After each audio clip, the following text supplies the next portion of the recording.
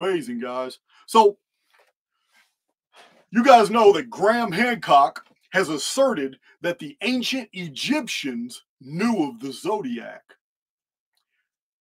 Graham Hancock said that. He said that in multiple in multiple interviews. He said that in his published books. The ancient Egyptians knew of the zodiac.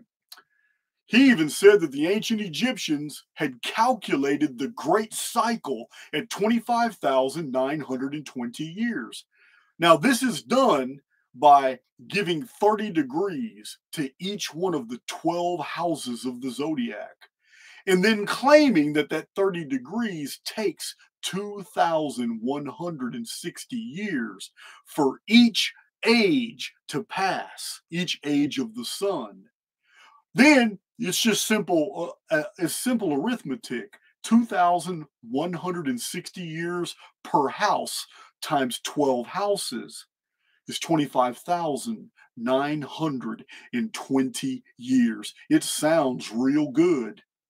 Unfortunately, I'm going to have to tell you, and I'm going to show you in this video, that every bit of that was very recently made up.